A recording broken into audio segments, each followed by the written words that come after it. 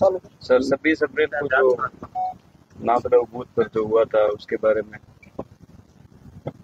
लोकसभा चुनाव में विधानसभा क्षेत्र शेरगढ़ के भाग संख्या दस बूथ नंबर दस जो मेरा गाँव नाथरऊ है और मेरा खुद का ही बूथ है।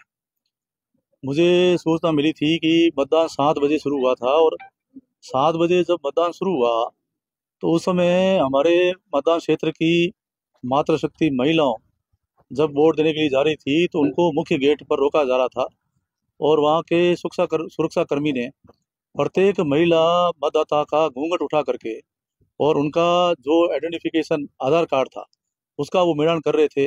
और वैसे आइडेंटिफिकेशन के लिए सोलह पहचान पत्र होते हैं लेकिन उनका हम सोलह पहचान पत्र नहीं मानेंगे केवल आधार कार्ड मानेंगे। तो जो आधार कार्ड नहीं लाए और दूसरे पहचान पत्र लाए उनको भी वापस भेजा।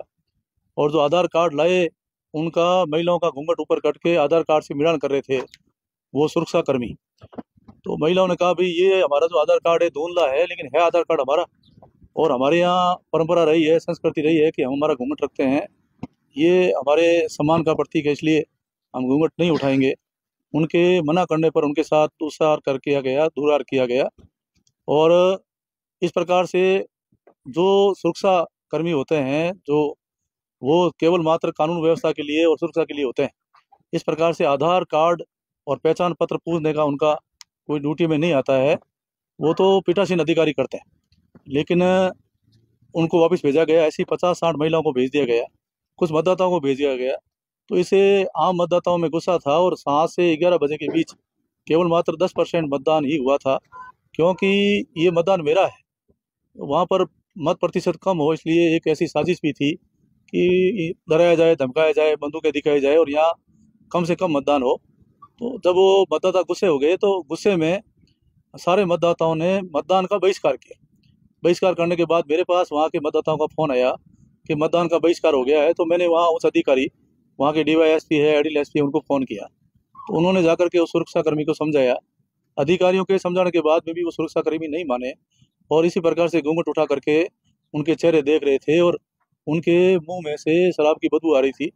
जब मुझे समाचार मिले तो हमने भी ये कहा कि मुझे भी वोट देने आना है और बहिष्कार हो गया था। मैं चाहता था कि मतदान वापस शुरू हो। तो मैं मतदान क्षेत्र में गया और जाते ही मैंने जब मुख्य गेट पे गया तो वही सुरक्षाकर्मी मुझे मिले और मुझसे भी पूछा गया कि आपका प्रमाण पत्र दीजिए। तो मैंने मेरे विधायक का पहचान पत्र दिया तो उन्होंने माना नहीं कि आप अपना आधार कार्ड बताओ। तो मैंने कहा, आधार कार्ड मेरे पास नहीं है।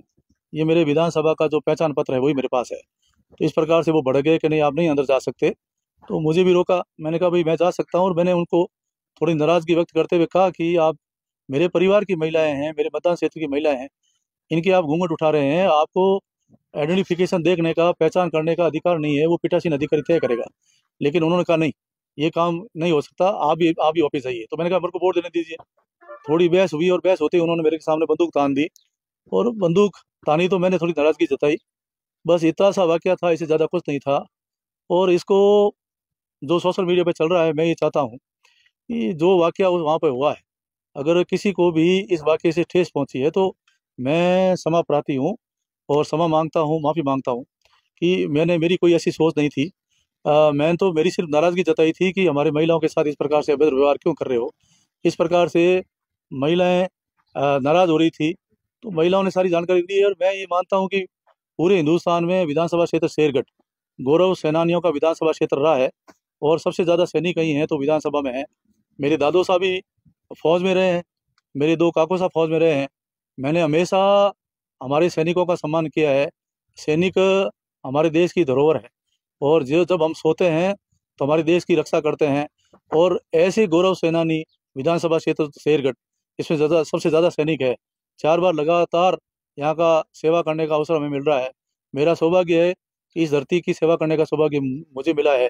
और यहाँ के हंड्रेड परसेंट जो पूर्व सेनानी हैं पूर्व सैनिक हैं वो हमारे साथ खड़े हैं और हमेशा उनका सम्मान किया और उनकी समस्याओं के लिए उनके हक और अधिकारों की लड़ाई हम लड़ते रहे हैं। तो इतना ही वाक्य था। और कोई आपको बात? सर जब ये दुर्व्यवहार हुआ तो उस समय में कोई महिला सुरक्षा अधिकारी या महिला पीठासीन अधिकारी उपस्थित थी? वहाँ मुख्य गेट पर ये केवल सुरक्षाकर्मी थे और पुरुष सुरक्षाकर्मी थे। महिला सुरक्षाकर्मी भी वहाँ नहीं थी। तो इसके संबंध में सर जब प्रशासन को सूचना आपके द्वारा दी गई कि महिलाओं के साथ भी दुर्व्यवहार हो रहा है तो प्रशासन ने कोई महिला सुरक्षा अधिकारी को तैनात किया उसके बाद सहूलियत के लिए? नहीं उनने जो अधिकारियों ने समझाया लेकिन वो माने नहीं। और जब मैं हाँ, मैं वोट देने के लिए वहाँ गया और मैंने वहाँ हालात देखे तो हालात देखने के बाद में वो पीठासीन अधिकारी भी इस प्रकार से कर रहे थे क्योंकि कांग्रेस पार्टी के प्रत्याशी करण सिंह जी के वो रिश्ते में भाई लगते हैं बालू सिंह जी। तो वो भी इस प्रकार का दुर्व्यवहार मतदाताओं के साथ कर रहे थे वोट परसेंटेज नहीं हो रहा था और वोट डालने नहीं दे रहे थे तो मैंने शिकायत की और अधिकारी आए। हमारे उपखंड अधिकारी वगैरह, सारे अधिकारी आए, जिला कलेक्टर शिकायत की गई, आईजी शिकायत की, एसपी शिकायत की तो उन्होंने आकर जाँच की और जाँच में मेरी जाँच को उन्होंने सही माना और सही मान करके वो जो सुरक्षाकर्मी थे, उनको भी वहाँ से हटाया और पीठासीन अधिकारी थे, उनको भी वहाँ से हटा करके दूसरे पीठासीन अधिकारी और सुरक्षाकर्मी जवान वहाँ तैनात किए। भविष्य में सर महिलाओं के साथ इस तरह का कोई दुर्व्यवहार नहीं हो, इसके लिए आप आगे क्या कदम बढ़ाएँगे? मैं तो हमेशा महिलाओं की सुरक्षा होनी चाहिए। आपको पता होगा कि जब विश्वविद्यालय का छात्र संघ अध्यक्ष था और physic college, physical college Jodhpur में हमारी बहन बेटियों के साथ अत्याचार हुआ और उनके साथ घिनौना कृत्य किया गया था, तब भी हमने वहाँ पंद्रह दिन आंदोलन करके और उस महाविद्यालय के प्रिंसिपल और दो और जो शारीरिक शिक्षक थे, उनको सरकार सरकार से, नौकरी से बर्खास्त कराया था और उनको न्याय दिलाया था। तो हमेशा हमारी बहन बेटियों का सम्मान हो और उनकी इज़्ज़त आबरू का सम्मान हो। हम उनके, उसके लिए हमेशा संघर्ष करते रहे हैं और उनके पैरोकारी करते रहे हैं, उनके हक और अधिकार की लड़ाई लड़ते रहे। इसमें सर दो प्रकरण आ रहे हैं। एक तरफ़ जहाँ प्रशासन आपके खिलाफ मुकदमा दर्ज करवाने की कर रहा है, वहीं दूसरी तरफ़ महिलाओं की सुरक्षाओं के लिए भी आवाज़ उठ रही है। तो क्या आप निर्वाचन आयोग से इस तरह की मांग रखेंगे कि आगे भविष्य में महिलाओं की जाँच के लिए, सुरक्षा के लिए जहाँ वीआईपी मूवमेंट होता है, वहाँ पे कम से कम महिला सुरक्षा अधिकारियों की तैनाती की जाए? जिस तरह अब तो- उस मतदान क्षेत्र की जो महिलाएँ हैं और जिनके घूंघट उठाए गए थे वो तो वही शिकायत दर्ज कराएगी और वो जब शिकायत दर्ज कराएगी तो हम उनके न्याय के लिए बात करेंगे नंबर वन दूसरा जिस प्रकार से मैं ये सोचता हूँ कि अगर हमारे खिलाफ कोई प्रकरण आया है तो जाँच के लिए 189 में मामले रपट दर्ज हुई है। उसकी जाँच हो रही है मैं कह रहा हूँ जाँच होनी भी चाहिए जो गलत है उसके लिए जो न्यायोचित है वो होना चाहिए।